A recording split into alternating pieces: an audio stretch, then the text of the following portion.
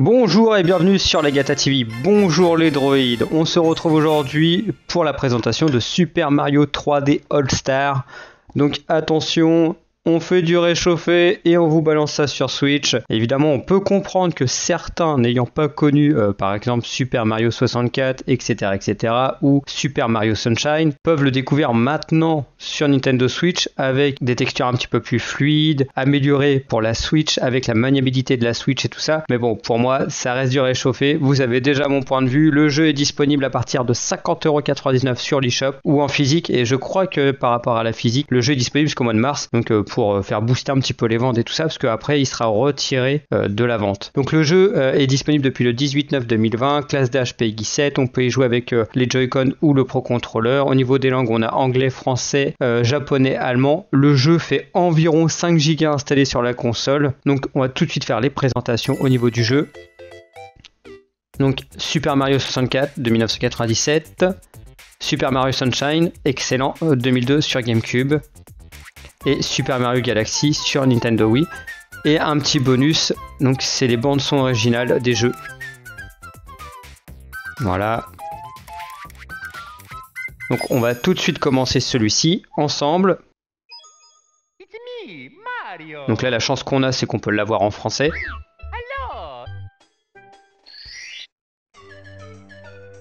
Là on va commencer. Donc là, le gros point noir, par contre, c'est qu'on a un format 4 tiers. Là où, quand la ROM euh, hack était sortie, on avait un pur 16 neuvième pour en profiter. Là, on se tape une vieille 4 tiers. Donc, si tu as une télé, euh, une grande télé, 55 pouces, 65 pouces, et bah, tu vas profiter d'un beau 4 tiers sur ta grande télé. Au lieu d'avoir un beau 16 neuvième.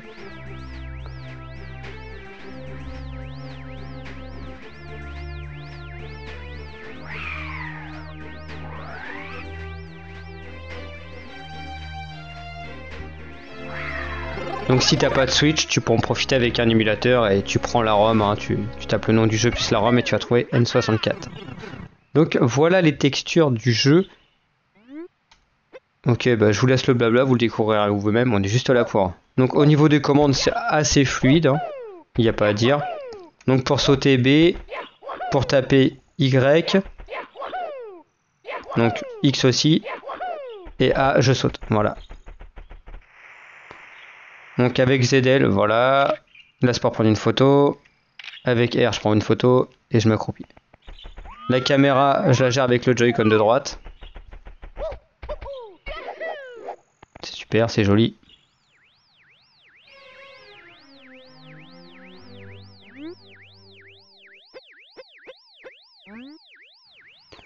Impec. Ça n'a pas l'air trop buggé pour le moment de mon côté. Donc j'ai pas fait la mise à jour et tout ça. Ah, notre buzzer. On va essayer de faire un petit niveau ensemble. Là sans étoile, impeccable. Donc ça reste fluide. Hein. Après voilà, tu peux jouer à Mario 64, Mario Sunshine, Mario Galaxy sur Nintendo Switch en mode portable. Bon, c'est de la bombe. Voilà, faut le dire clairement. Même si ça sent le réchauffer, c'était des trucs où il te fallait une N64 ou un GameCube pour pouvoir y jouer. Là maintenant, tu peux y jouer en mode portable. C'est le gros gros avantage.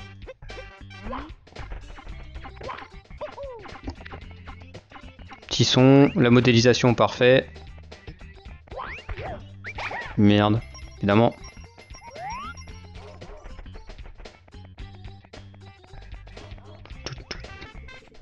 On va aller se taper le boss directement. Donc là, on voit. Hein. Hop. Au niveau de la caméra, bon, on voit toujours les mêmes textures, hein, mais il faut pas oublier qu'on est sur N64. On n'est pas sur du contenu. Euh, alors ça a été adapté, donc en gros, comme on a l'espace de stockage suffisant, ça n'a pas été compressé tout ça comme sur les formats d'origine. Mais euh, j'ai vu des ROM euh, beaucoup plus belles. Puis surtout pas en, pas en 4 tiers quoi. Ça aurait pu faire au moins l'effort de le mettre en 16 neuvième.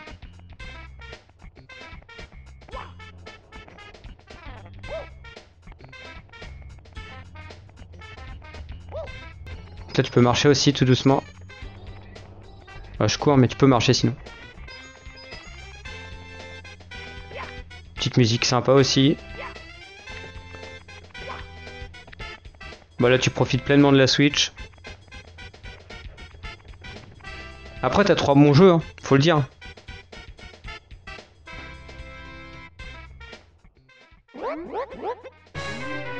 Voilà donc là il va marcher. Donc là c'est le premier boss du, euh, du jeu. Pour ceux qui connaissent pas.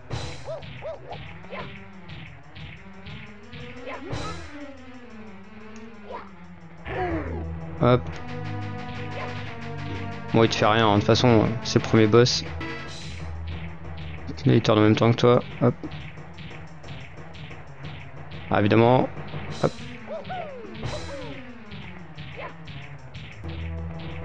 Voilà.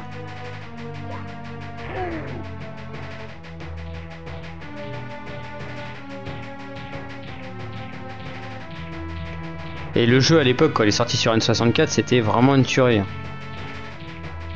T'avais ce jeu là, euh, bon, à côté t'avais la, euh, la PS1, t'avais des bons jeux style Tekken et tout ça, t'avais Lara Croft.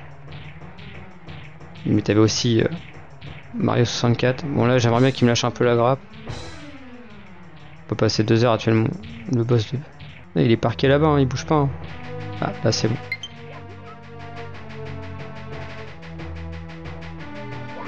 J'ai mes données de jeu qui se mettent à jour en même temps que je fais la vidéo, c'est sympa.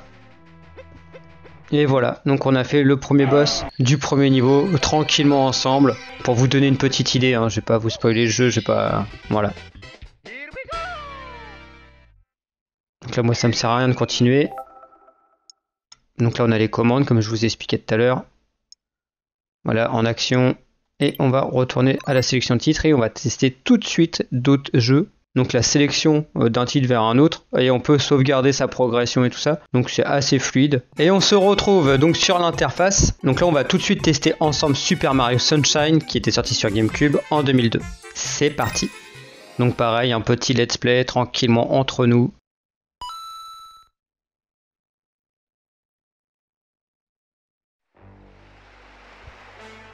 Donc là par contre méga avantage, on profite d'un format 16 neuvième donc on va voir plus d'informations, on va voir beaucoup plus d'images euh, bah, sur notre écran. C'est surtout les informations et là c'est très très propre. Déjà sur GameCube c'était propre. Mais alors là,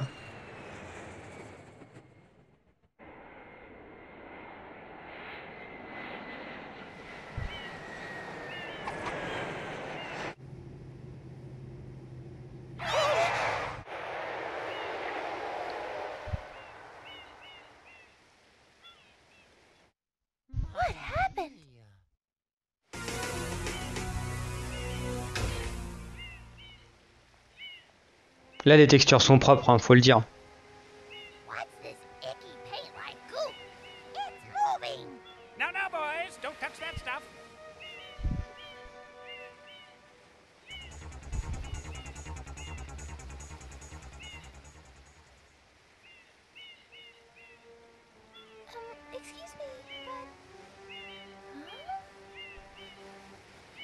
Là, je le rappelle, hein, mais on a l'avantage de ne pas avoir un format compressé.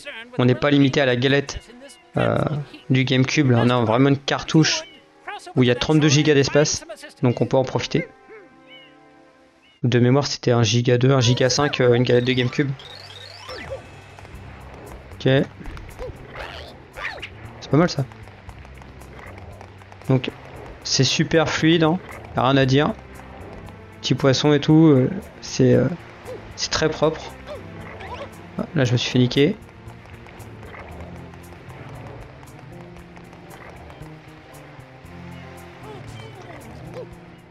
Voilà.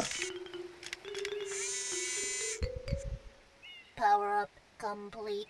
Thank you for purchasing this item from GAD Science Incorporated. Preparing to register customer information.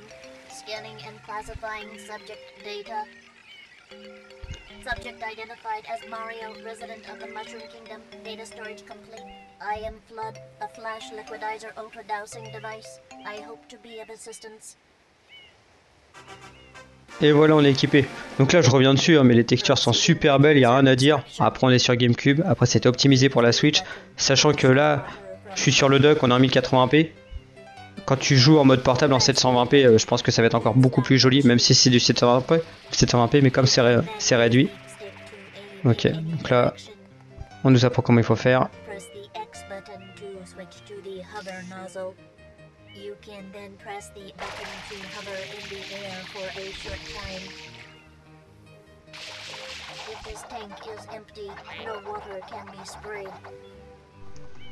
To refill tank, enter a body of water and press the button.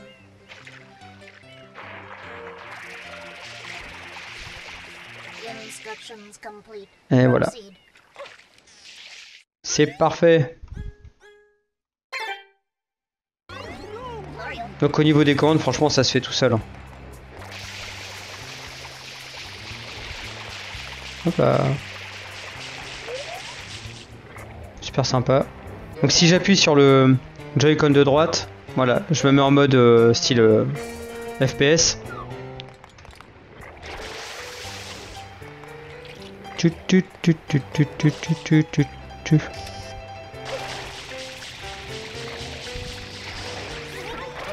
Ouah, je... J'y arrive même pas comme ça. Non, il veut pas. Bon bah tant pis, on aura essayé. hein.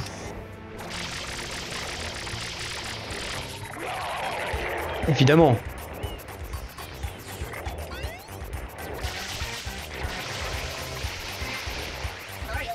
Donc là, hop.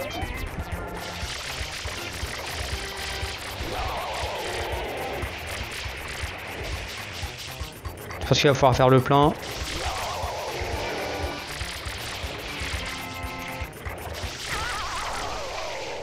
Et voilà.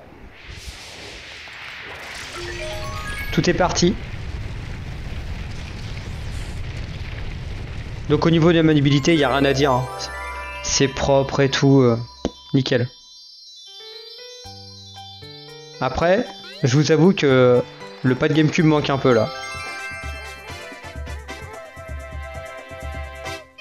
Et voilà, on a terminé la première mission. Bon, on va pas aller plus loin. Faire continuer, voilà, comme ça. Et on va changer. Même là, la cinématique, elle est propre. Même s'il y a un petit peu de flou là, c'est propre quand même. Allez hop. On va sélectionner un autre titre.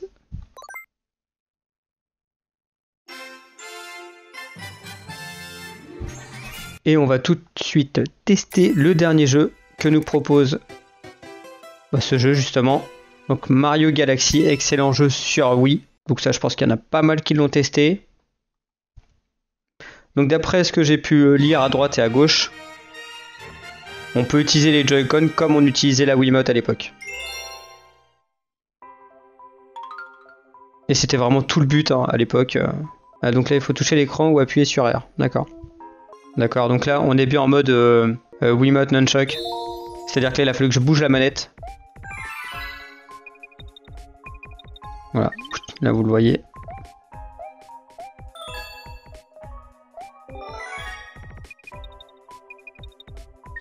Donc là, pareil, hein. les Joy-Con vont pas remplacer la Wiimote et le Nunchuck, quoi. Pour moi, personnellement.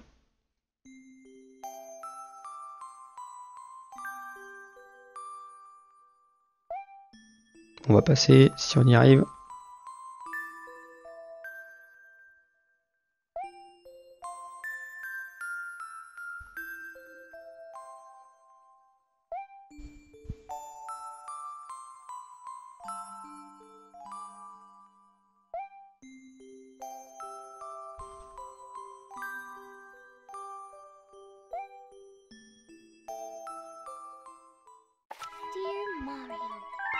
Bon, comme d'hab. Ah, ça fait. Hop. Donc là, le jeu était déjà beau sur Wii. Bon, on avait le droit du 576p de mémoire. Et là, on a le jeu en qualité HD. Voilà.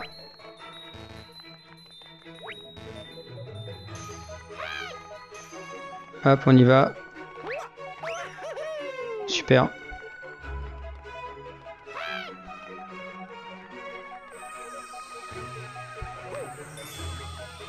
C'est super propre, c'est super fluide, il n'y a rien à dire.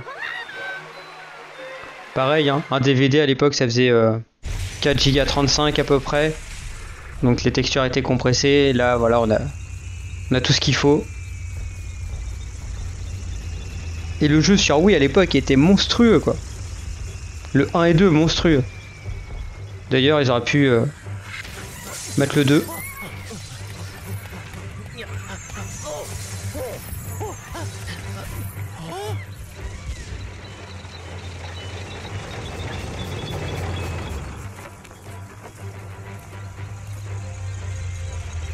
Donc là on profite aussi du jeu en 16 neuvième. Il était déjà en 16 neuvième sur Wii. Mais là avec des textures HD. Allez Luma.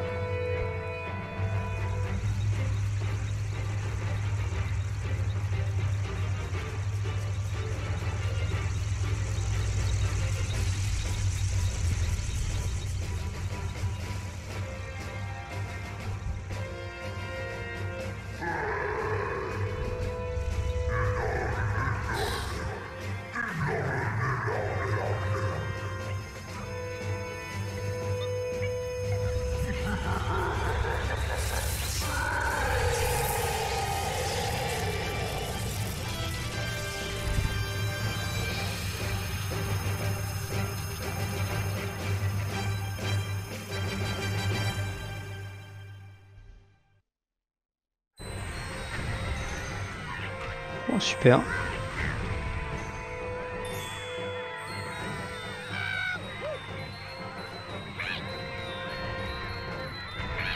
Ouais, le machin il est là-bas. hein. Pareil, le son est très très bon. hein. Là, personnellement, j'ai mon casque sur les oreilles. C'est euh, vraiment très très bon. hein. Comme les deux premiers opus. Ça a repété de partout là.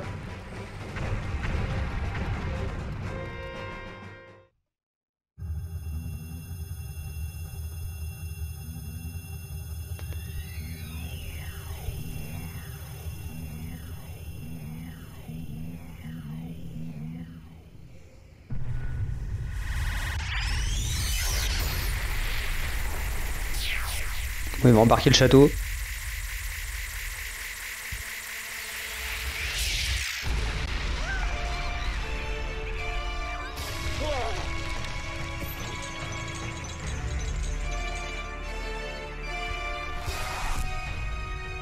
Donc là j'ai les vibrations aussi qui sont dans la manette.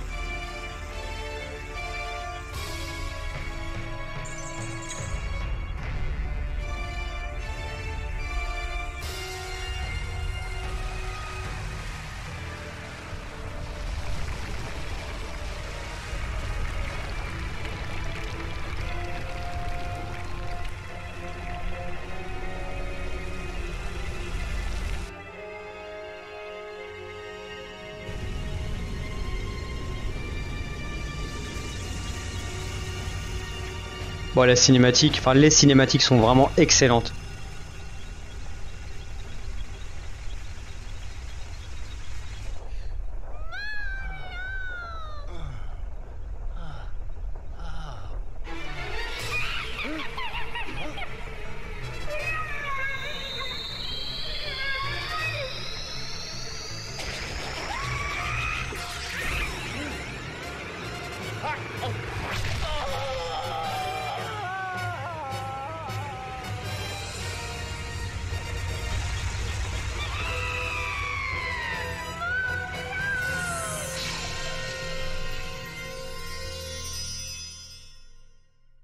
Et à l'époque, sur Wii, c'était vraiment une expérience, mais unique. Le fait d'avoir la Wiimote et le Nunchuck, si vous avez l'occasion d'avoir une Wii, ou une Wii U, euh, vous pouvez tester. Franchement, c'est terrible.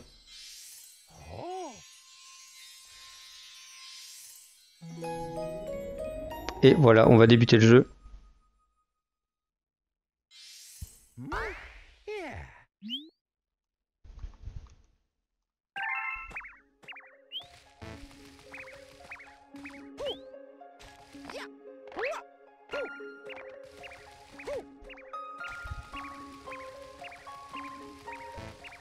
Ah oui, d'accord. Donc là, euh, l'étoile que vous voyez, je la dirige avec euh, mes Joy-Con.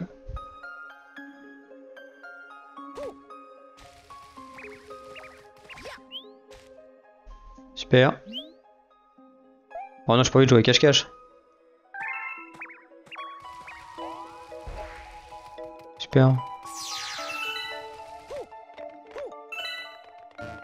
Ah, c'était vraiment euh, super bien à l'époque. Bon là, je retrouve pas la, même sensation, hein, je vous le dis,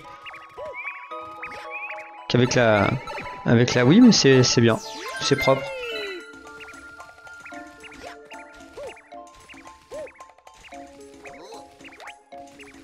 Oh, le monde, la tête à l'envers là. Bon, là, faut les attraper. Petit jeu à la con pour se familiariser à l'époque. hein. Voilà. Je vais pas aller plus loin, ça sert à rien. Donc voilà pour la présentation de Super Mario 3D All Star. Donc moi qu'est-ce que j'en pense? Bon, c'est magnifique de l'avoir, on va partir du côté positif. C'est magnifique de l'avoir sur console portable, de pouvoir y jouer, surtout de se refaire euh, sur le N64, GameCube et tout ça. Bon après, c'est pour les fanboys. Moi personnellement, je trouve que c'est encore du réchauffé. Il n'y a pas de nouveauté sur la Switch. C'est facile de reprendre des anciens jeux et de nous, remettre un peu de texture HD, de l'audio HD. Et voilà, on te vend ça euh, 59,99€. Euh, voilà, c'est mon avis. Après, c'est un très bon cadeau de Noël, évidemment, hein, à tous les fanboys de Mario et tous ceux qui aiment Mario, tous ceux qui n'ont pas découvert Mario. Moi personnellement, je l'ai pris pour vous le faire présenter. Donc voilà pour la fin de la présentation de Super Mario 3D All Star. Je vous dis à la prochaine sur la Gata TV. Salut Si cette vidéo t'a plu, n'hésite pas à laisser un pouce bleu ou un pouce rouge avec la raison dans les commentaires. N'hésite pas à t'abonner à la chaîne et activer toutes les notifications pour recevoir le point sur nos sorties vidéo. N'hésite pas à aller voir dans la description nos liens vers nos différents réseaux sociaux, donc Facebook, Twitter et Snapchat, ainsi que notre site web. Et je vous dis à la prochaine pour une nouvelle vidéo.